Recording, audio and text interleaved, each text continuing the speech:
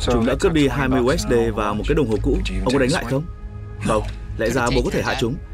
Giá mà chúng đột nhập nhà tôi. Nghe bảo anh có thể hạ được một đứa. Sao anh không ra tay? Một phần đã ngủ yên trong tôi từ lâu. Rất muốn phát tiết. Sao vẫn còn ở đây hả lão già? Tao sẽ cho chúng mày như đòn.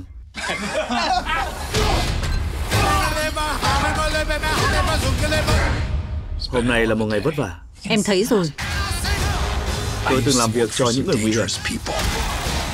Nhưng tôi đã bỏ lại tất cả để xây dựng gia đình. Này, có lẽ tôi đã cố quá. Chúng nhắm tới gia đình tôi. Điều đó là không được.